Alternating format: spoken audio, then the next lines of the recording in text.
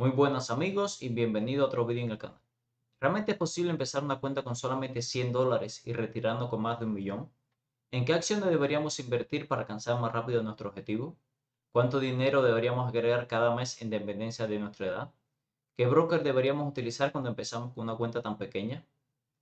En el día de hoy voy a estarle respondiendo estas preguntas y también le voy a estar mostrando un portafolio de 100 dólares que creé en Webull de manera educativa.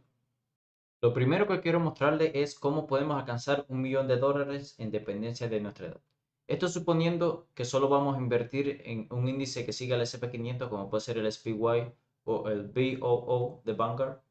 Suponiendo que usted tiene 30 años, le faltarían 37 años para su edad de jubilación, que aquí en los Estados Unidos es de 67 años, y un saldo inicial de 100 dólares, como es el ejemplo que le voy a mostrar a continuación, usted tendría que contribuir con 220 dólares al mes para retirarse con más de un millón de dólares. Ahora, supongamos que un hijo suyo eh, alcanzó la mayoría de edad, los 18 años, que es la edad mínima requerida aquí en Estados Unidos para abrirse una cuenta en un broker, y usted quiere que su hijo empiece a invertir. En ese caso, con el saldo inicial de 100 dólares, tendría que contribuir con 100 dólares cada mes, y en ese caso su hijo se retiraría con más de 1.6 millones de dólares. Estamos viendo que desde 1957 el rendimiento promedio del SP500 ha sido de 10.5 anual. Por último, si usted tiene un hijo que está cerca eh, de nacer y desde ahora quiere asegurarle su futuro, solamente tendría que contribuir con 10 dólares al mes para que su hijo se retire con más de un millón de dólares. Quería mostrarle aquí en, en la calculadora de inversión, vemos cómo aumenta de forma exponencial según van pasando los años el dinero que usted tiene en esa cuenta. Eso por el interés compuesto vemos de forma increíble que luego de 67 años usted va a haber aportado solamente 8.040 dólares y el resto de más de un millón de dólares fue solamente en interés compuesto. Antes de pasar a la plataforma de trading, quiero mostrarle por qué escogí estas compañías. Como pueden ver, tengo tres compañías de Communication Services que son Google, Facebook y Netflix. Tengo dos tecnológicas, Adobe y CRM.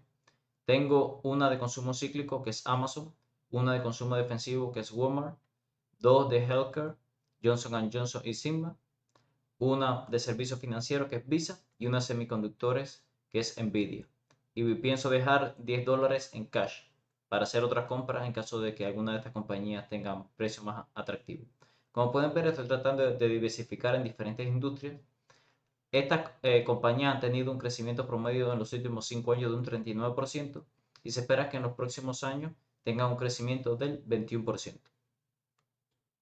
Ya estamos aquí en la aplicación de Google. Vamos a empezar a comprar 10 dólares en acciones de Google. Seleccionamos de tipo Market, la orden. Y luego vamos a seleccionar 10 dólares que es lo que vamos a comprar en acciones de Google. Comprar.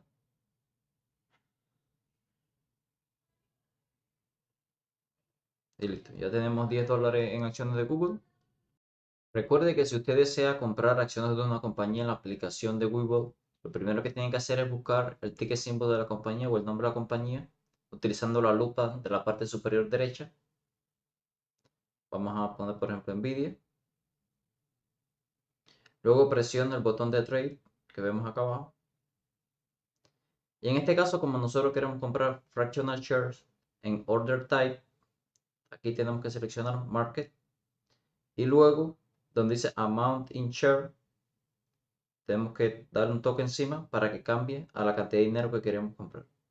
Como por ejemplo, como estamos viendo en este ejemplo, 5 dólares en Nvidia. La única forma de comprar fractional shares es con order type market. De otra forma no lo voy a poder hacer. Por lo tanto, si estamos en, antes de que abra el mercado o después del mercado, que sí podemos hacer order limit, pero no vamos a poder comprar fractional shares porque como les dije anteriormente, los fractional shares solamente se pueden comprar cuando el mercado está abierto y el order type es market. Luego de terminar de comprar las acciones, estamos aquí en las posiciones abiertas que tenemos, que vemos las 11 acciones que, que compramos. Actualmente han subido una pequeña cantidad de 16 centavos. Si vemos acá arriba en los detalles, podemos ver que todavía tenemos un buying power de 10 eh, dólares disponible en caso de que queramos reforzar alguna posición o comprar acciones de, otro tipo. En el portafolio anterior solamente incluí 11 acciones que me parecía que su precio estaba bastante atractivo en este momento, pero hay algunas acciones que siempre estoy dando seguimiento y que tienen que estar en el núcleo de cualquier portafolio, como son Apple, Tesla, Microsoft, Disney, Coca-Cola y Pepsi para los dividendos, Nike, Bank of America, Boeing y Morgan Stanley. Los brokers que yo recomiendo es en primer lugar Webull, que permite invertir desde 5 dólares en cada acción y fue el broker que utilicé en este ejemplo. En segundo lugar Fidelity, que deja invertir desde 1 dólar en cada acción. Y en tercer lugar Robinhood, que también deja invertir desde 1 dólar en cada acción. Recomiendo usar estos tres brokers porque dejan utilizar los fractional shares, ya que en una cuenta solamente 100 dólares para poder diversificar más, es más recomendable eh, comprar pequeñas cantidades en estas compañías. Le voy a estar dejando en la descripción el link de Webull y de Robinhood, pues si se quieren unir. Con el video de hoy vamos a dar inicio a una nueva serie en el canal que se llama el Reto 100. Lo iniciamos hoy con solamente 100 dólares y cada mes vamos a estar añadiéndole 100 dólares más a la cuenta.